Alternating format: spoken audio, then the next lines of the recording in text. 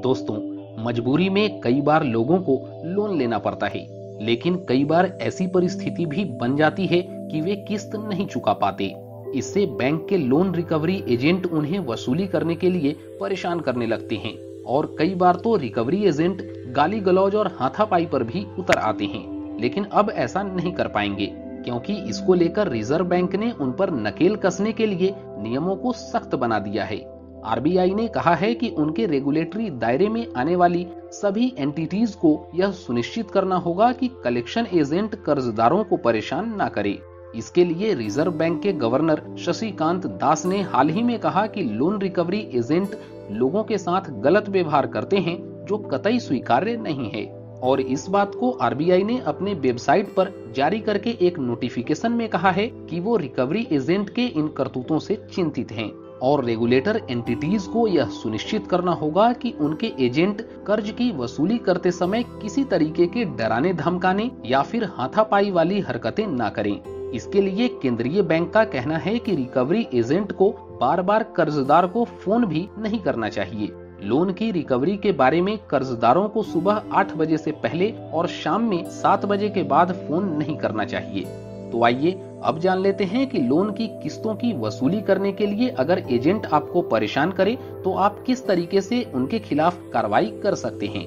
Reserve bank की guidelines के मुताबिक लोन रिकवरी एजेंट लोन की वसूली के लिए धमकी या फिर उत्पीड़न का सहारा नहीं ले सकते हैं। और इसमें मौखिक या शारीरिक दोनों तरह के उत्पीड़न को शामिल किया गया है।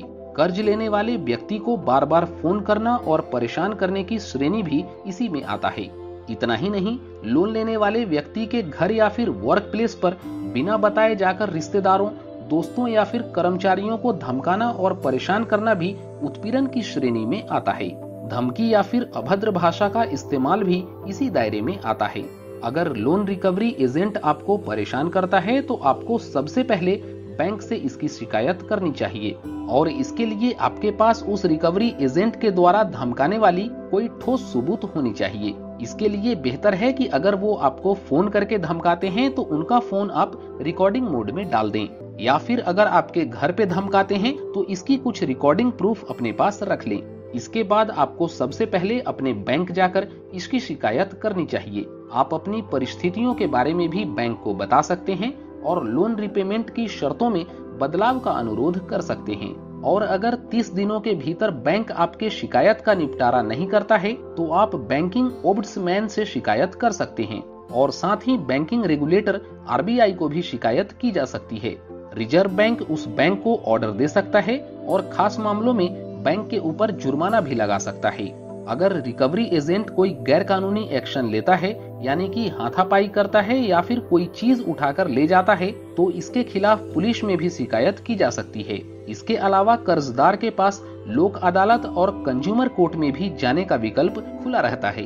तो अगर आपने भी लोन लिया है और रिकवरी एजेंट आपके साथ किसी तरह का दुर्व्यवहार करते हैं तो इन बातों की जानकारी आपको होनी चाहिए। उम्मीद करता हूँ कि लोन लेने के बाद अगर कोई रिकवरी एजेंट आपसे दुर्व्यवहार करता है तो उनसे कैसे निपटा जाए, इस बारे में आपको प्रॉपर इन्फॉर्मेशन मिली होगी।